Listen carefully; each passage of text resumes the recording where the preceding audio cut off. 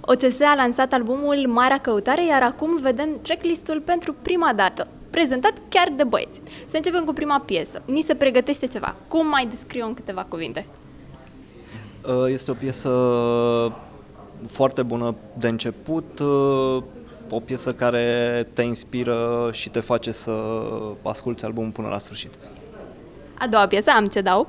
Um, da, am cedat o piesă puțin melancolică, puțin uh, și totuși uh, pozitivă, extrem de pozitivă până la urmă. Um, violoncel, dacă e să o iau într-un singur cuvânt. Baloane de săpun. Uh, să mă anunț când și cum. Pandora. Pandora, introspecție, extrospecție, nu există extrospecție, dar Există e acum. ok, există acum. Introspecție și multe chestii băgate sub preș, o să vedeți voi ce e acolo, o nebunie.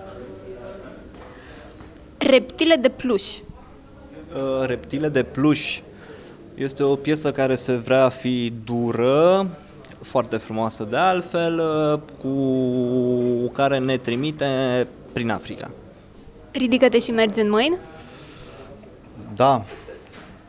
Um, fă față provocării. Cam asta ar fi. Fă față provocării de a trăi. Hiroshima. Uh, uh, cineva a greșit foarte mult și uh, toate necazurile lumii uh, îi se pun în cârcă. Apă de izvor.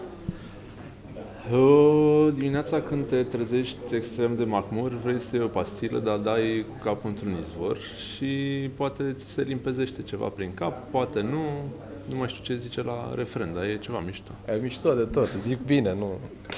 Caută. Caută light motivul albumului. Și ultimul, etajul 28. Uh, etajul 28 cred că este um, fantezia albumului.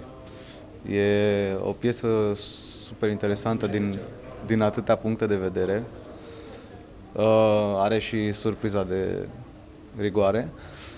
Um, multă chitară, mult sentiment, multă grangereală, greutate așa. Greuceanu. Mulțumesc și abia așteptăm să ascultăm tot albumul.